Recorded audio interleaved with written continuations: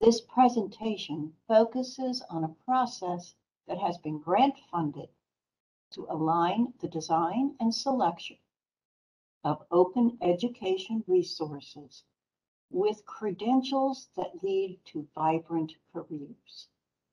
In New Jersey, the Open Textbook Collaborative earned the $1.3 million grant from the United States Department of Education, the Fund for Improvement of Post-Secondary Education.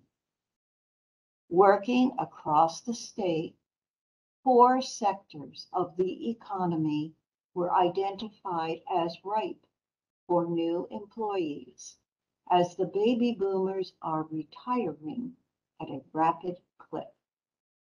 This need for workers in the four sectors guided the design of the program and identified the open education resources needed to achieve this. The four sectors are energy and infrastructure, health services, innovation and technology, and global manufacturing and supply chain management.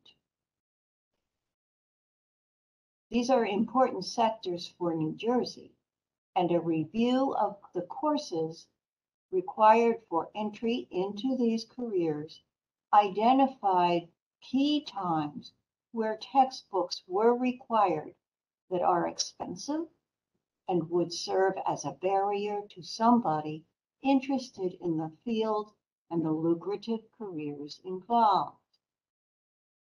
The goal of this grant is to support people. People preparing for employment in these sectors that build careers with stackable credentials, certificates, associate's degrees, additional certificates, and bachelor's degrees. Building on these certificates and credentials in order to create a viable path to enter the career. The model has proven to be very exciting to the industrial community as it addresses needs that they surfaced when they participated in the review. I am going to talk about the structure of the committees. At the top is the executive committee that guides all the processes related to this grant. The advisory committee is made up of members of the executive committee, chairs of the curriculum committees, workforce partners, and representatives from industry that have identified the needs in their fields. The curriculum committees. I currently am chair of the Energy and Infrastructure Committee. There are four curriculum committees, each focused on one workforce sector. Our charge is to create, recruit faculty or industry partners to create open education resources in these critical fields. For example, my committee is currently supporting the creation of several open education resources on construction tools and management, physics, we are working with a faculty member who is translating lab support materials into Spanish. This grant will fund complete textbooks, it will fund ancillaries, it will, it will fund digital toolkits essential to faculty that will encourage the use of open education resources for these very expensive STEM fields. The process is supportive of authors and creators.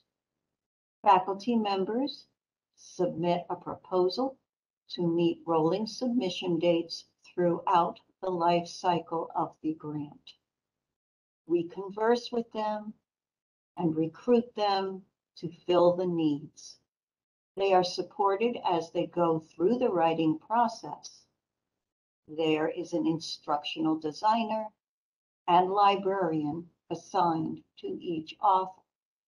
They work with the technology support partner so that eventually all of these resources will be posted in OpenNJ. And the technology supporting this is in the beta phase now because it must support a myriad of resource types. For example, currently there are two chemistry textbooks, one Chemistry 1 and Chemistry 2.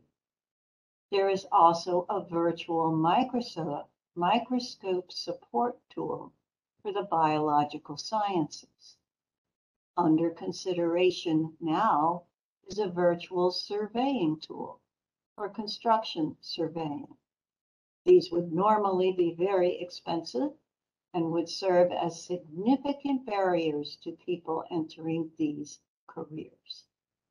That is the goal of this grant, to support the growth in the economy, the livelihood of people who want to enter these fields. It is a pleasure to work with the faculty, librarians, instructional designers, and tech support in this infrastructure that was created to be supportive and it continues to grow as we reach out to new faculty to participate. This is an effort across the state of New Jersey. It is spearheaded by workforce partners, community colleges, the New Jersey Council of County Colleges, and two universities. Together, we work to make this happen for New Jersey citizens. As we hone this model, we plan to publish and share it widely. Once the resources are posted in OpenNJ, they will be freely available to students and faculty across the country. It is an opportunity to explore this new model and the infrastructure of support that encourages the growth of open education resources that lead to careers. Thank you for your time and your attention. If you have any questions, please contact me at gasparrowan.edu.